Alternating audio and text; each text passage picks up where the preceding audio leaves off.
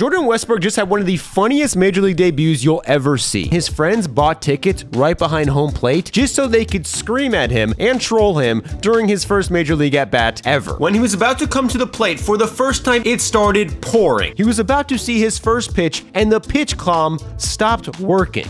While they were trying to fix it, it started raining even harder. Hundreds of fans began leaving their seats, meaning the stadium was practically empty besides his friends and family. He went down in the count 0-2 but began battling back, hyping up his friends who began pumping up the crowd and screaming at him even more. Then the PitchCom broke again. It started raining even harder and his own manager was losing it because he thought the game should be delayed. Then he took ball 3 causing his friends to get the few people who stayed in their seats to start chanting his name. With the whole crowd chanting his name, he took a 3 2 pitch for his first walk as his family went crazy.